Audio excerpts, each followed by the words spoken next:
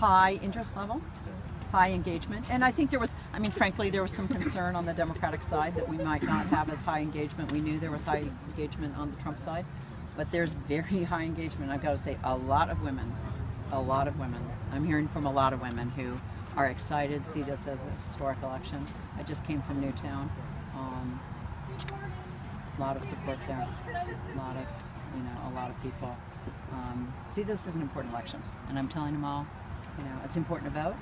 And then we've got a lot of work to do after, and I think that's really the message for everyone. You know, this is this has been a challenging election, and the country is going to have to heal afterwards, and that's going to be incumbent on everyone who wins and everyone who has run to be part of bringing this nation together and working on what we can solve together because it's just unacceptable for us to, to be at war.